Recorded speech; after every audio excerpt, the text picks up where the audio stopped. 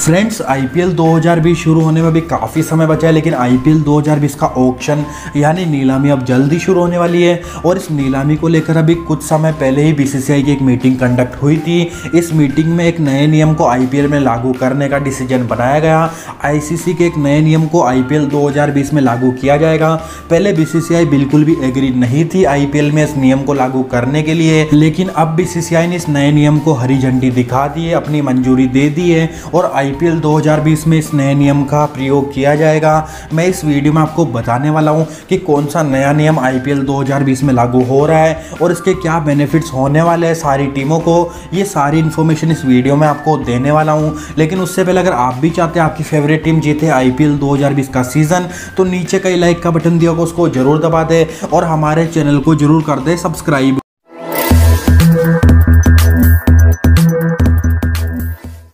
Friends, अभी लगभग एक महीने पहले ही आईसीसी ने ट्वेल्थ मैन को लेकर एक नया नियम बनाया था, जिसके तहत अगर कोई भी प्लेयर मैच के दौरान इंजर्ड हो जाता है और उसकी इंजरी इतनी सीरियस होती है कि उस मैच में आगे खेल नहीं पाएगा मैच में आगे भाग नहीं ले पाएगा तो उसकी जगह ट्वेल्थ मैन को उस मैच में मौका दिया जाता है खेलने को। इससे पहले ये नियम हुआ नहीं करता था क्रिकेट में, लेकिन अगस्त के बाद ये इंटरनेशनल क्रिकेट में अप्लाई हो गया था। बीसीसीआई ने पहले इस नियम को आईपीएल में अप्लाई करने से बिल्कुल मना कर दिया था, लेकिन अभी बीसीसीआई की मीटिंग के बाद इस बात की कंफर्मेशन हो चुकी है कि आईपीएल 2020 के सीज़न में ट्वेल्थ मैन का नियम अप्लाई होगा।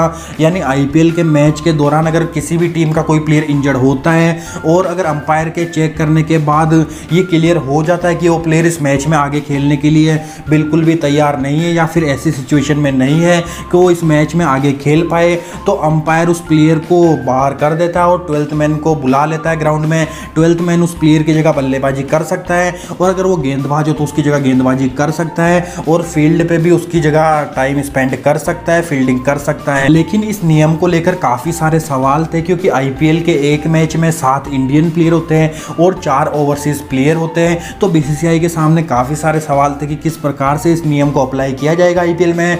तो बीसीसीआई ने इस मीटिंग के बाद सब कुछ क्लियर कर दिया इस नियम को लेकर।